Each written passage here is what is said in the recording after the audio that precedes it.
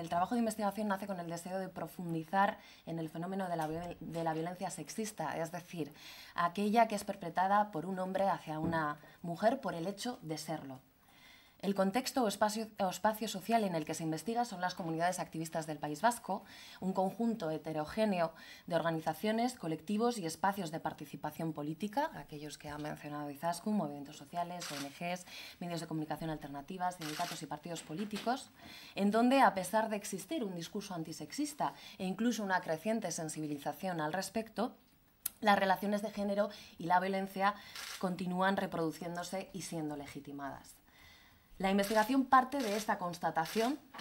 y se focaliza en este escenario para contribuir a la ruptura de mitos y estereotipos en torno a las expresiones de la violencia, su contexto, las mujeres que son susceptibles de percibirla y los hombres que la perpetran. Este conjunto de mitos y de estereotipos crean prácticas discursivas y no discursivas que conforman un tipo de imaginario social en torno a la violencia. Este imaginario influye no solo en cómo reaccionamos frente a la violencia, sino en cómo producimos conocimiento sobre ella.